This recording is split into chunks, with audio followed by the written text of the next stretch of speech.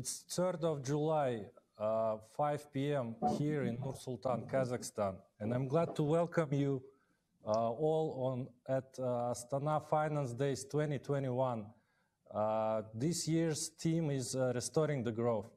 And today's panel is about investment opportunities of Central Asia and Caucasus, where investment promotion and attraction agencies representatives will brief us on their developments, stimulus packages, and recovery plans of their governments, followed by a brief overview and information on investors having geographical exposure to our region. We have located 50 minutes and have nine spokesmen. Hoping speakers will fit in five minutes frame to give a chance to all other speakers. Following this event, we will share, share collateral and extended presentations with the audience and upon request. Now let me give a floor to Ms. Bayan Galant Bulgan Chimek, the Deputy Chairman, Chairperson in charge of FDI and International Cooperation of National Development Agency of Mongolia. Please, the floor is yours. Thank you. Thank you so much. Distinguished panelists, it's an honor to be speaking at the Astana International Finance Days about the investment opportunities in, in Central Asia. So I'll be sharing my screen briefly and I'll just be speaking along.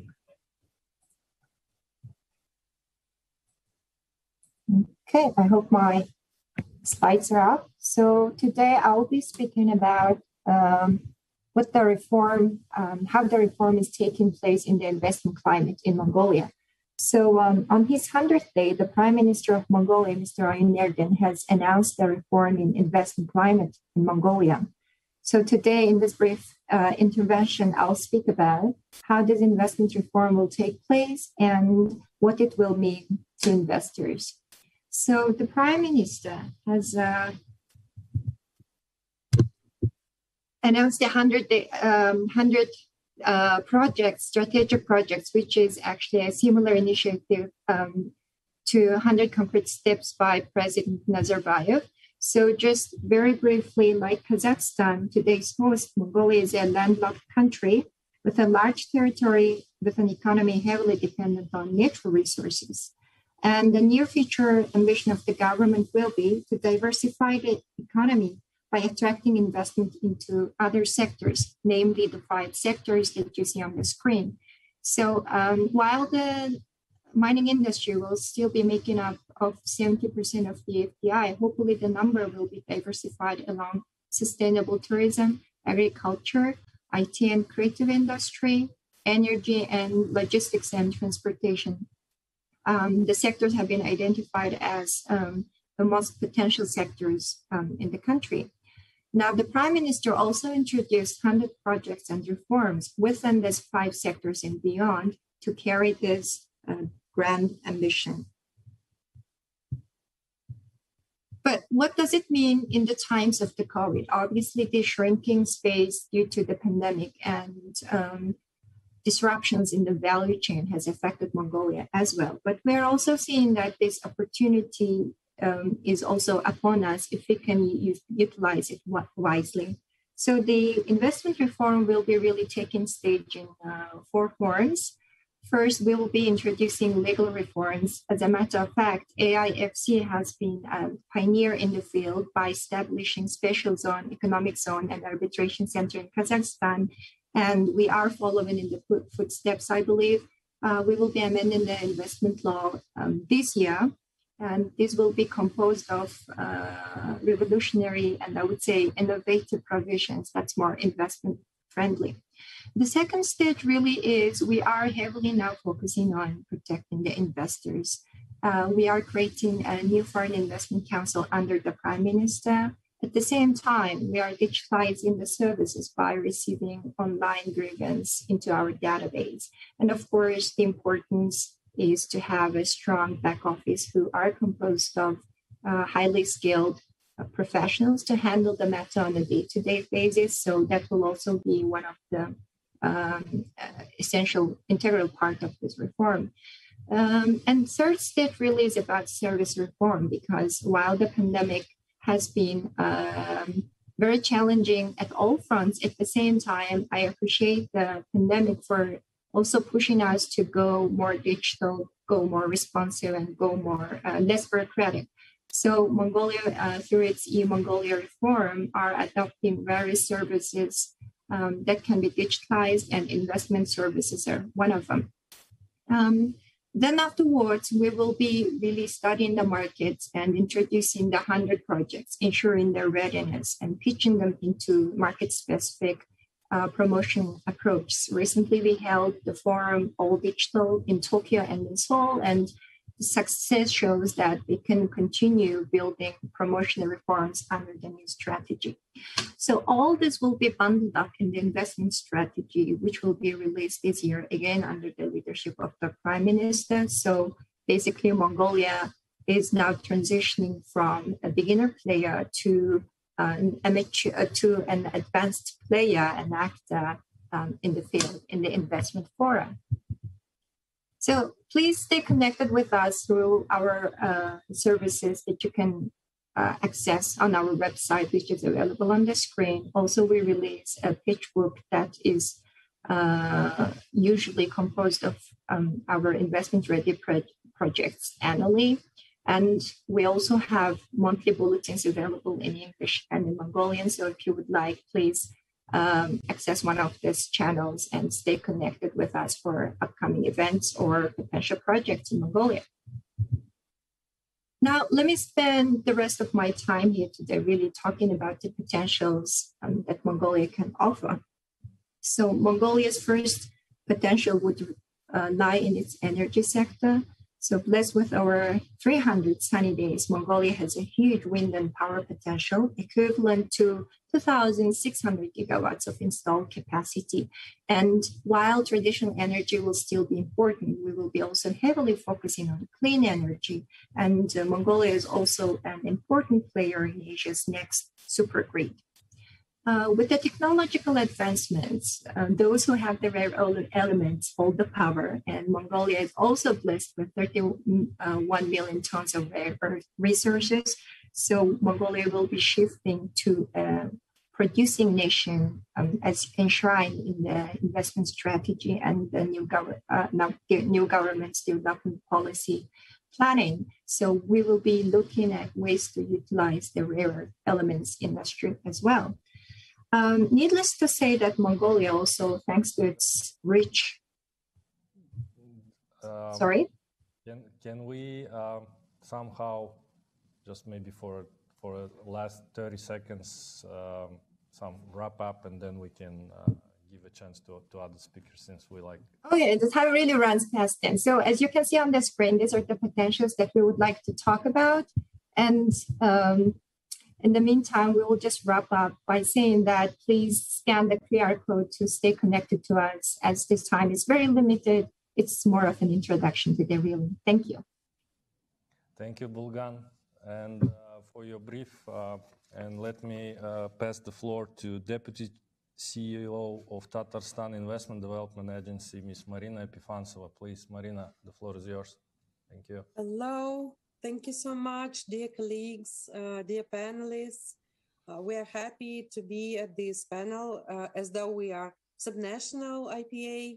And uh, I'm very interested to hear all uh, the other countries uh, with what they've got, because benchmarking is a very important instrument to see what is done in this after somewhere after COVID times. Tatarstan is region in Russian Federation. And uh, uh, majorly what is done is done in the legislation of our country.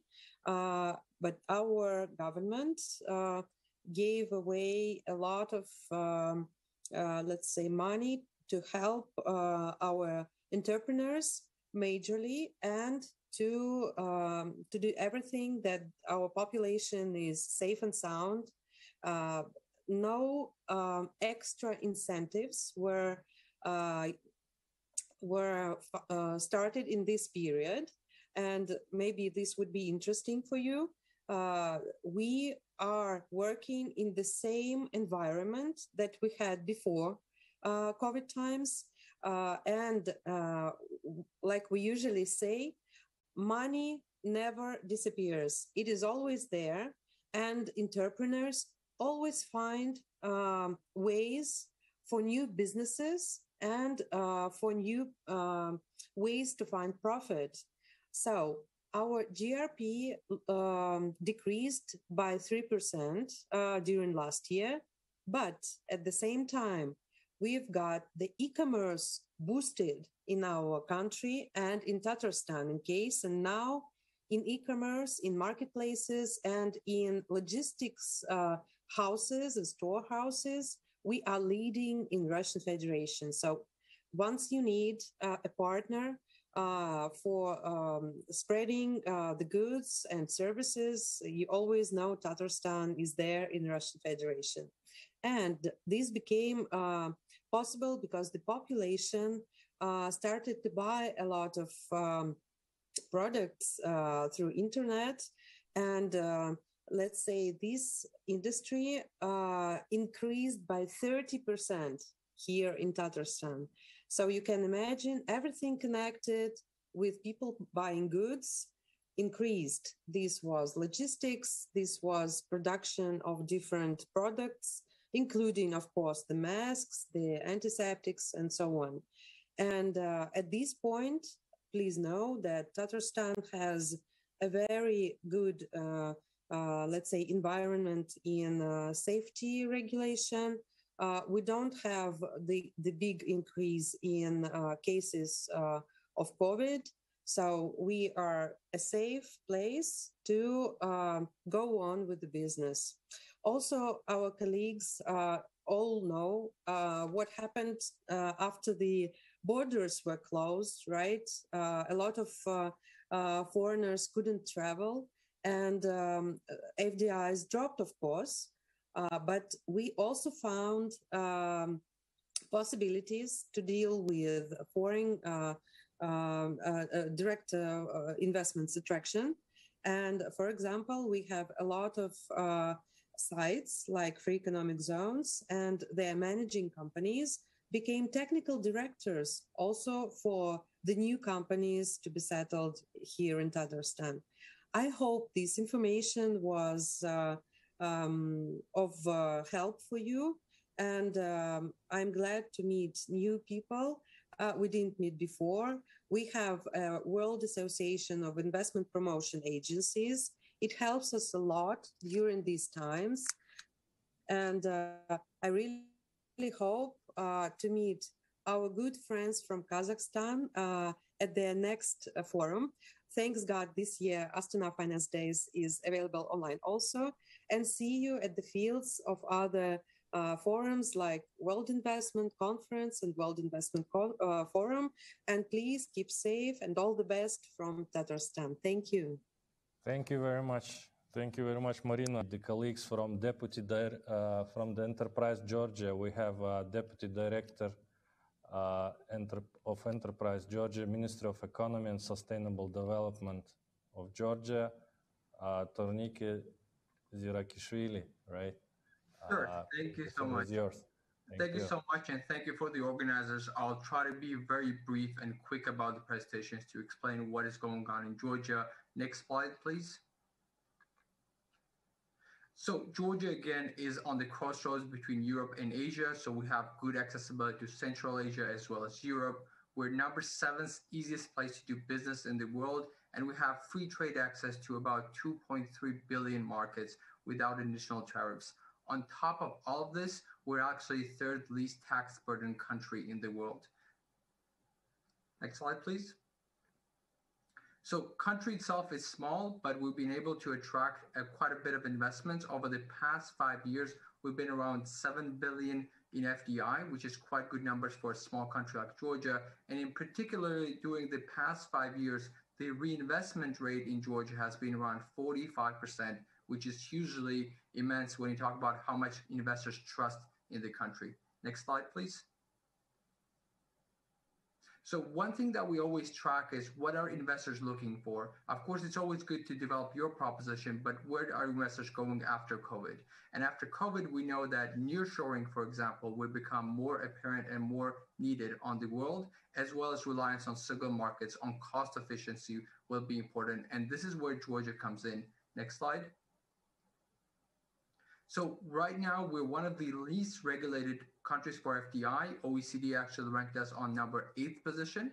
According to Trace Matrix, which is an independent body tracking interactions between businesses and governments, they put us on number one in terms of least need for businesses to interact with the government. And with this, we're number one in Eastern Europe and Central Asia in terms of rule of law. Next slide, please. Of course, rankings and ratings are always good, but we, what we actually want to get to businesses is efficiency. And on this slide, you can see how much quicker you can do things in Georgia compared to some of our high income uh, average OECD countries. So starting a business takes one day, registering a property takes one day, and so on. Every single activity is more efficient in Georgia. Next slide. So we utilize the same idea behind our connectivity and international accessibility. So Georgia is connected through air cargo, trains, trucks, and so on. And as I mentioned, we have access to about 2.3 billion people without having tariffs. So we have free trade agreements with both China and the European Union. Please. Finally, we benchmarked Georgia on cost efficiency idea as well. So we looked at some of our top competitor countries, and no matter what aspect you look for, either cost efficiency in terms of salaries or cost efficiency in terms of uh, uh, electricity costs or other costs. Next slide, please. So even electricity, industrial gas, water, as well as salaries are going to be much more efficient in Georgia than in most of our competitor countries. Next slide. So finally, I mentioned that we're third least tax burden country in the world. So what does this mean? We only have six different types of taxes and that's it. And on top of this, if you reinvest your profits into Georgia or into expansion of your own business, you're not going to be taxed on that. So we actually have zero tax on reinvested profits. Uh, next slide, please. So my final slide is we actually utilize this time during the pandemic to make the attractiveness of the country even further uh, more important and more prevalent. We introduced special tax incentives for and uh, special incentives for FDI as well. We introduced an FDI grant, which if you invest about $3 million into Georgia, you'll be receiving a cashback rebate of about $300,000. We introduced international company status for IT companies and other types of companies which can benefit from additional tax breaks on this. And of course, we have four industrial zones which can be benefiting from additional tax incentives for Georgia. So thank you for all of that and thank you for the organizers again. I hope I stayed within the time limit. Appreciate it. Thank you very much, Ternik. Uh, colleague from Investment Attraction and Support Department of Ministry of Investments of Kyrgyz Republic, Ulukbek Kaparov, please, Ulukbek, the floor is yours. Hello, dear participants of the conference. Let me to present myself. My name is Kaparov Ulukbek. I would like to present the information on the protection of investments in Kyrgyzstan, on the work that we provided in Russian language. On 29th of January 2021, the President of Kyrgyz Republic signed the decree on the protection of ownership to support the entrepreneurs and also investors. And additionally, additional measures for the entrepreneurs. And these decrees were adopted, taken into consideration social economic uh, situation in the country uh, based on the requests of investors and entrepreneurs Kyrgyzstan has the Council on Economic Reforms under the government of Kyrgyz Republic. Under the council, we created uh, several working groups and also we uh, prepared some recommendations. And the group has representatives of business society, uh, profile governmental structures uh, that prepared recommendations in order to decrease administrative barriers for entrepreneurs and also to simplify business procedures. The third is to adopt a normative uh, legal acts in order to improve the interaction uh, between business and uh, legal bodies and state bodies. And these measures are included in 100 days plan of the government. And uh, before the government of uh, Kyrgyz Republic adopted the decree at 11th of December number 06 on the prohibition of the uh, checks uh, for entrepreneurs that are provided by law enforcement bodies in order to provide favorable conditions uh, for entrepreneurs, SMEs, in order to provide legal protection for them to eliminate non-justified interference uh, from law enforcement bodies into the activities uh, of SMEs. uh, and because of the spread of COVID, uh, based on Articles 10 and also 17 of uh, Constitutional Law of Kyrgyz Republic on the government of Kyrgyz Republic, and there is a prohibition on the checks of the subjects uh, of entrepreneurships that are provided by law enforcement bodies, with the exception of those that are provided in the framework of criminal and administrative laws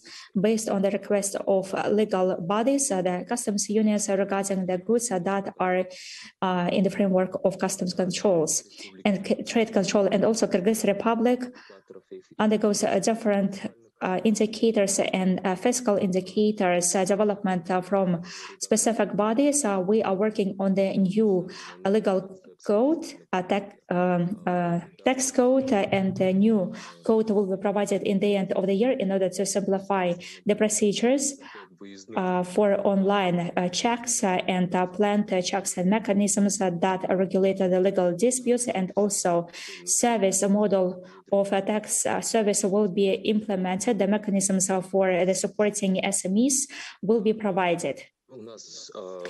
And in Kyrgyz Republic, we also eliminated uh, the control of uh, phytosanitary uh, goods that enter into the countries.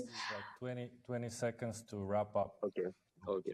Um, at the same time, the Minister of Investments on attracting investments sets another issue is a reconsideration of our economic uh, zones.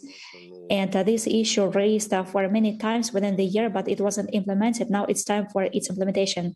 Thank you. Thank you very much. Uh, now let me uh, pass the stage to uh, Head of Strategic and Sustainable Development Department of Ministry of Finance and Economy of Turkmenistan. Uh, Mr. Atajan Atayev, please, the floor is yours. Thank you.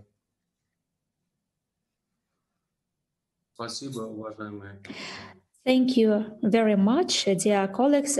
Dear colleagues, let me to express my gratitude for this opportunity to participate in this panel session and to wish everyone health and success. Uh, first of all, I would like to share information on investment opportunities of our state, the economic policy ESR focused on sustainable economic growth and economic social stability, investment activities, uh, the increasing of competitiveness uh, in priority sectors of economy uh, to create the economic mechanisms. The key of basis is the activization of investments policy that is based on the necessity to create a favorable climate for investments activities inside of the country and outside of the country in different sectors of economy. одним There are some technical issues. Uh, the speaker is not heard. нашего государства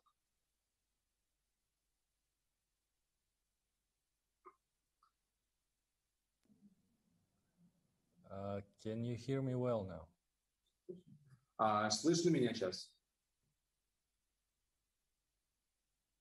Одним из, одним из важных, одним из важных событий прошлого года стало вступление нашего государства наблюдателем во Всемирную торговую организацию. И в настоящее время осуществляется совершенствование нормативно-правовой базы в соответствии с документами ВТО, в том числе в части инвестиционных стимулов.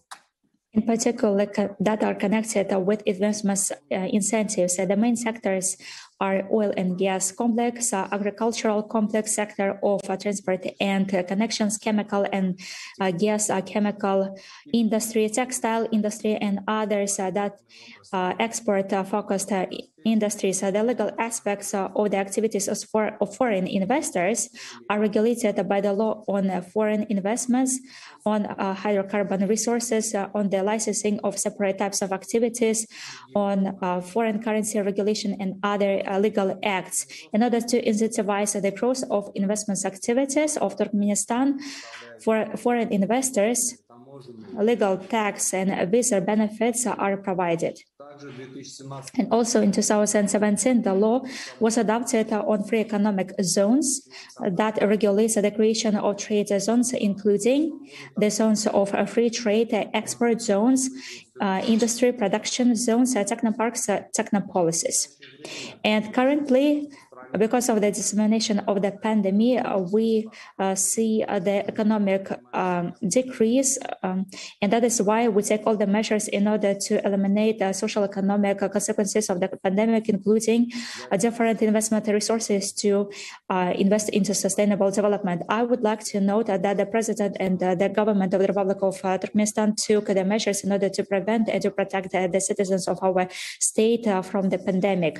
At the same time, the country timely developed the measures uh, for fiscal incentivizing for different types of economy in order to attract investments. And in this regard, we considered the uh, state budget of Kyrgyzstan in order to optimize the cost uh, for not prioritized investments together. uh, Like 15 y- seconds to wrap up. Sorry for that.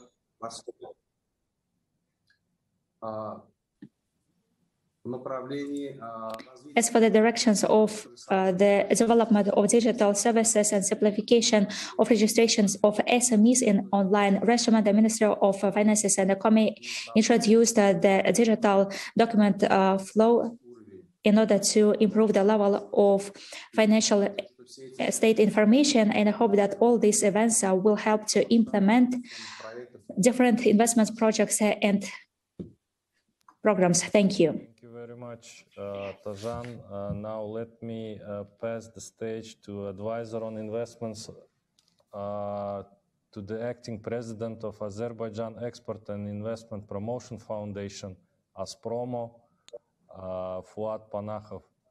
Fuat, please, the, the floor is yours. Thank you. Good day, everybody. Uh, I would like to thank you all for organizing this interesting event.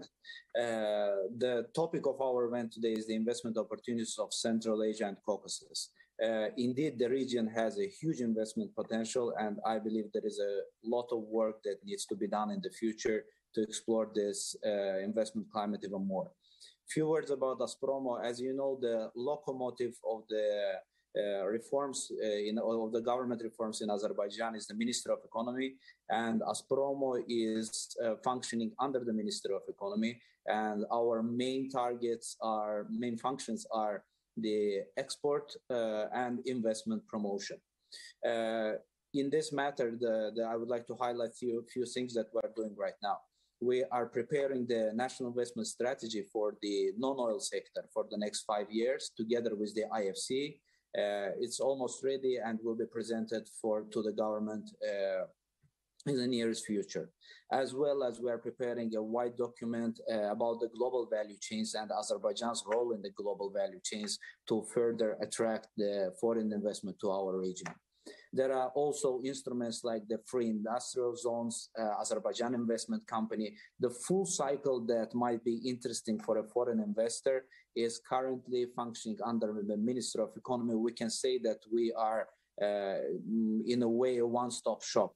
So if the foreign investors uh, uh, come, uh, if the foreign investors uh, contact us, they can uh, count on the A to Z support in all the processes that they uh, they will have to face. Uh, as you know, uh, tra- historically and traditionally, the oil and gas industry has been the uh, major industry of Azerbaijan. In the uh, past 20 years, more than 300 billion dollars uh, of investment have been attracted in the economy of Azerbaijan, most of which uh, was invested in the oil and gas sector. And the security that the investors feel about investing in Azerbaijan and the surveys that have been made among them, they always highlight that they really enjoyed and they uh, the uh, investment climate that Azerbaijani government provides. I can say that in 2019, Azerbaijan was ranked number one in investment promotion by the Doing Business report uh, globally. And this is a really high indicator, shows the work and effort that has been done. Uh, this year, Azerbaijan takes very seriously the Doing Business report. And this year, Azerbaijan was ranked number 28 among all of the countries and number top 10 of the reformist countries among 190, 190 countries. Azerbaijan invests heavily in the infrastructure. In the past 20 years, uh, thousands of kilometers of railroads, of highways, bridges, uh, and you name it have been constructed in Azerbaijan, which uh, makes the country more attractive to the foreign investors. Um, as you know, on July 1st, as you may know, on July 1st, the free, uh, the groundbreaking ceremony of the Alat Free Economic Zone has taken place, and Mr. President uh, laid the first stone for the construction of the Free Economic Zone in the biggest seaport on the Caspian Sea, the Alat port. I believe that this will be a chance not only for Azerbaijan but for, for the countries of the region to benefit from that project. Uh, I would like to mention also, uh, I will, I'm wrapping up almost, just give me 30 more seconds, uh, that uh, the victory of Azerbaijan in the de-occupation of Azerbaijani lands in Karabakh yes, has created even better uh, opportunities for the security and peace in the region. So once again, thank you everybody, and please come and uh, visit our webpage, visit our sites to get more information. Thank you. Thank you very much, uh, Fuat. Um, let me pass uh, the floor to uh, uh, Zhandos Temirgali, the Deputy Chairman at Kazakh Invest. Please, uh, Zhandos, the floor is yours. Hello, uh, dear participants, dear colleagues. Thank you. For firstly, let me thank uh, Sun International Financial Center for the initiative of organizing the, this event online Indeed, Astana Finance Day serves a great regional dialogue platform for potential of overcoming the current challenges and ensure the growth during the post-pandemic period. And today, um, I'm going to uh, provide a short commentary on the next slide uh, regarding our vision on current investment promotion activities in Central Asia and our the further uh, developments. So next slide, please. Well, Central Asia and um, Caucasus is an ancient region with a unique history and culture. And today, you, as you well aware, our region is attracting more and more attention from the global investment community. Moreover, the large foreign investors regard our region as a whole in terms of transit potential, market size, infrastructure development, human capital, and security. Improving the investment climate will have a multiplier effect for the development of the entire region. And that is um, more than 100 million people. So we have a clear common interest. In this regard, the unified positioning of Central Asia on the world investment map is the, of our great importance. Uh, considering the strategic location in the center of Eurasia and rich natural and human resources. Our region is located at the crossroads of continental transportation and the corridors between Europe and Asia. We have direct access to the market of more than a million consumers, including the countries of uh, Central Asia, Caspian Basin, and uh, China, of course. In particular, Kazakhstan plays one of the roles in this implementation of Belt and Road Initiative. We have direct access to the to these markets, and 25% of these the routes uh, going through Kazakhstan. I would like to highlight also the middle corridor stretching from Central Asia to Azerbaijan, Georgia, and uh, uh, uh, European Union. the new routes from China to Europe significantly reduced delivery times since transit time could, could be reduced by three, four times. Well, thanks to the efforts of the government of the Republic of Kazakhstan, a three-level system of investment support has been introduced in Kazakhstan uh, that includes states, overseas institutions, ministries, and local executive bodies. At all these levels, Kazakh Invest, the national IPA of Kazakhstan, has an active role managing the network of representatives abroad and in all regions of Kazakhstan. In addition, we have representatives uh, in uh, the countries that are highlighted here. A systematic work of the government on creating the associations and uh, coordinating the entrepreneurs. So on the next slide, you can see the um, outline on investments right protection in Kazakhstan. First of all, we need to mention the Foreign Investors Council chaired by the President and Investment Council chaired by the Prime Minister of Kazakhstan. Additionally, Astana International Financial Center uh, creates great opportunities uh, not only for Kazakhstan but for the entire region with um, arbitration center, and common law court system for the first time in Eurasia. In order to quickly solve the problematic issues, you can see the um, investment ombudsman and it's the Republic of Kazakhstan's prime minister. So on the next slide, you just uh, see some information. I will not go in depth here on the investment preferences under the investment contract for the investors. It is comprehensive and includes the priority industries. And talking about the investment climate, Kazakhstan is number 25th in the World Bank doing business currently. And particularly the country is number four in the world for enforcing contracts and number seven for protecting the minority investors. So on the next slide, um, you can see the volume of FDI and the combination of all the main factors is expressing continuous uh, improvement of the investment climate and volume of the investments. So since 1991, more than 360 billion of foreign direct investments were attracted. 20 to, seconds uh, to wrap up, if you don't mind. Thank you. To Kazakhstan economy, uh, despite the um, the downturn last year, this year, uh, 2021, we can see very optimistic results, preliminary results. So in order to wrap up, I would like to thank everyone, dear excellencies, and I hope today's discussion will serve an extremely important step in developing unified investment strategy for our region for the benefits of our nations. Thank you very much. Thank, thank you very much, uh, Zhandos. And maybe um, if we still have a time, maybe I, I can uh, demonstrate also uh, uh, uh some critical information that uh, myself and my, our team tried to collect on, on our region. Thank you. So on the next slide, we, um, we tried to uh, find out what's happened uh, last year during the pandemic. According to a, um, uh, global market intelligence and uh, Preqin, uh, we see that uh, due to pandemic, the deal making in the private equity industry de- declined and in some sectors even stopped.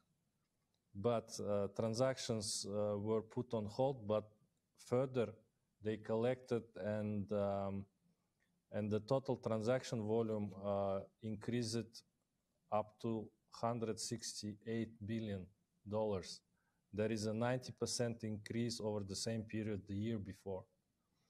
And according to the survey, uh, more than 75% uh, of private equity internationals from Asia Pacific anticipate that the transaction volumes will continue to improve. Um, in the next uh, 12 months, we uh, expected focus on the opportunities. The biggest is in IT, healthcare, and the least, the least interesting sectors is real estate and materials. Of course, um, uh, the ESG factor now start playing the, the bigger and bigger uh, role in the investment decision. There is a clear um, there is a clear indication that the 40% of uh, of firms start uh, uh, start planning to work and on improving ESG standards with their existing portfolio. So they now will try uh, improve the ESG situation in their existing companies where they're invested and also will screen on ESG during the uh, investment, investment stage. Uh, on the next slide, we try to, again, collect uh, all the information and some some uh, try to you know um, compare uh, let's say our region with with other regions. And we clearly see that um, the uh, FDI in in in our region is uh, expected to be increasing as well uh, among the other uh, regions. Um, maybe on the other slide we also try to list regional and global partnership and initiatives that somehow can help not only, let's say, to Kazakhstan, but to our region as well to, to start uh, thinking on uh, how to recover. This includes Astana International Financial Center, the Central Asian Investment Partnership, the Energy Utility Partnership, of course, the Paris Agreement, and uh, as colleagues from Kazakh Invest mentioned, uh, the BRI, the Belt and Road Initiative. Um, and uh, on the on the on the next slide, I also wanted to highlight the cumulative limits from EBRD, ADB, and Eurasian Development Bank now exceeds uh, 57 billion euro. So basically, and you can see uh, like country-wise, the limits are not that used as it could be. So there is a huge uh, opportunity to increase uh, depths, to use the depths uh, to improve the, the situation within the, within the markets and sectors. And on the next slide, I also wanted to highlight, this is a quick, uh, this is a quick homework we tried to do to estimate the dry powder, the actual, um, let's say, money that ready to be invested amongst uh, fund managers that have focus in our region. So basically, we have not only traditionally, let's say, Russia, Europe, UK, US, as a, as a destinations of uh, registration of a fund managers, but we also can see that some Puerto Rican based uh, fund managers, Ghana based fund managers are also interested in investing in our region. And if you could uh, have a look on the strategies, so the most preferred strategies are the growth capital, and the least preferred strategy is the venture, venture capital. And the estimated dry powder uh, amongst 27, 28 fund managers are more than, so it's basically equity investments, potential equity investments to the region. And, and it's worth around 14 billion dollars. It could be invested in as an equity investments. And the most pre preferred industries are information technologies, and the least uh, uh, preferred one is the oil and gas, and we have agribusiness with increasing uh, with increasing um, interest from our fund managers as well. Thank you. And on the on the next um, on the next slide, I wanted also to highlight some findings uh, from survey prepared for OECD IDB of investment promotion agencies, where the criteria used for pri prioritization of projects uh, to pitch to to uh, to market amongst the IPAs in Eurasia. So basically, the prioritization is happening via priority sectors, impact on job creation, impact on exports, and the least uh, important uh, factors amongst the IPAs where they prioritize the projects they want to promote is that the type of investor, priority country of a region, and the impact on domestic firms, production and capacities, which uh, leads us to some kind of um, findings that we also wanted to highlight is that Eurasia IPAs um, are more uh, focused on uh, economic diversification and regional development. Also, we found out that the COVID uh, nudged the digital technology usage for uh, for investment promotion as a tools. And furthermore, um, according to uh, findings from a survey, we, we think that uh, IPAs are more focused to retain existing. As a colleagues from uh, uh Enterprise Georgia mentioned that the, the retention, reinvestment uh, now matters uh, for IPAs to retain the existing investors base. And the potential of uh, attracting uh, capital uh, via AIFC, as we mentioned, is that we have online registration and licensing of companies. We have all the instruments when you can report your tax, you pay your tax, you have, we have digital signature um, instruments.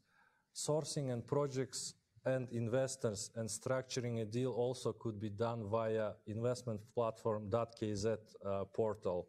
Settlement and resolution of disputes via e-justice uh, also is available via aifc.kz.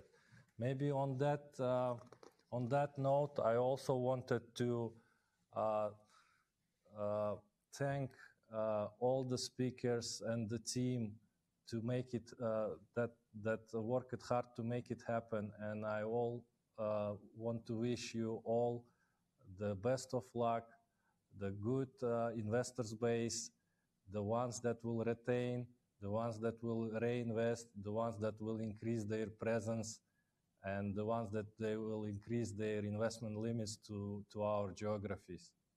And I wish uh, all of us best of luck, and I hope uh, to meet and see you in person as well. And uh, I also invite uh, uh, your project initiators, uh, your project pipeline to be uh, also posted on our digital resources so that we can promote not only our, let's say, local projects, but also help to find investors from your geographies for the projects uh, from your geographies.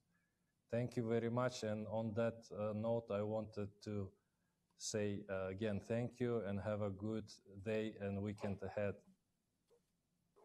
Thank you. Thank you. Thank you very much. Bye bye. Thank you. Goodbye. Bye.